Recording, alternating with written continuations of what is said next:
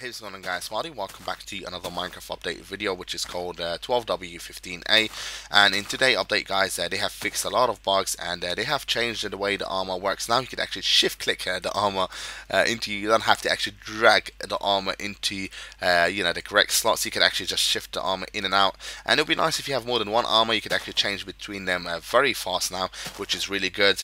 Another thing guys they have changed is the way dispensers actually works now with their minecarts and boats. So if you have for example example, some minecarts inside a dispenser, you won't have to take one out and right click on the track. If you have a track in front of the dispenser, you can just, you know, click on the lever or the button or whatever, and then it would actually just shoot it out like so into the, you know, the rail track.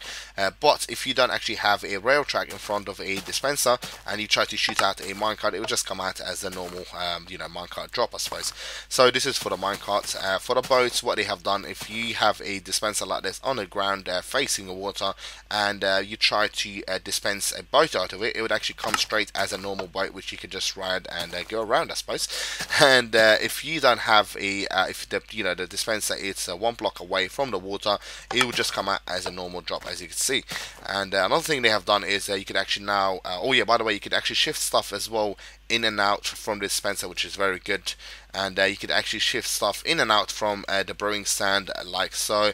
And as you can see, they go into uh, the place where they need to be. And uh, if you have an ingredient, it would actually go above like this. But for some reason, there's a little bug uh, which you can't actually shift click uh, the third bottle. I don't know why. You could place it in, but you can't actually shift click it yet. There's probably a little bug there. And um, yeah, and about the eggs as well, you could actually now spawn the eggs as little babies. They no longer spawn as you know fully growing uh, mobs but you can only do this with you know the friendly mobs. It won't actually works with the hostile mobs because I did actually try it.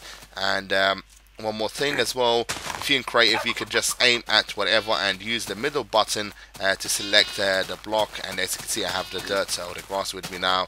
And then if I aim at this uh, you know block it would actually just automatically uh, add it to my hotbar. It's very good. They did actually add it in the previous update but for some reason it didn't actually work.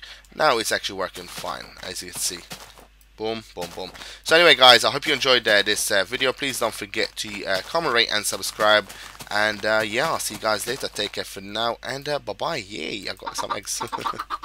you can just aim at the mobs as well, which is very good. So I'll see you guys later. Take care, and bye bye. Peace.